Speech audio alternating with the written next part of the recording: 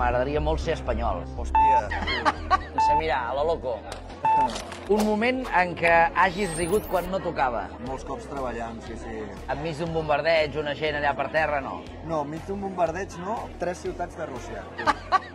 S'han equivocat de sobre, aquest era el teu i aquest és el meu. Moscou? Uh, Moscou i, i caben dues Catalunyes. sí? Sí.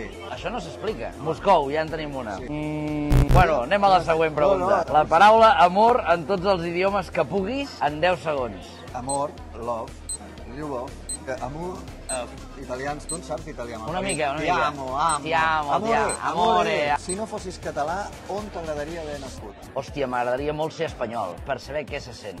Perquè sempre he viscut aquesta cosa com de país petit i oprimit i poder anar amb la xorra pel món, de que us donguin pel cul a tots, m'agradaria tenir aquesta sensació un dia.